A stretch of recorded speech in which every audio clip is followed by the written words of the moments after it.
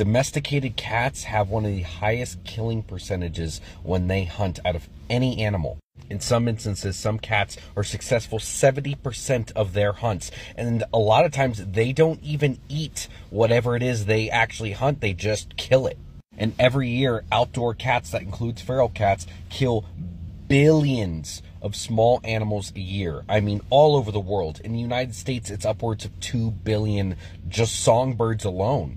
If you just scroll down YouTube after searching for hunting iguanas with air rifles, you can see that it's there's countless videos of it and it's just like, "Oh, look at this, we're killing these iguanas."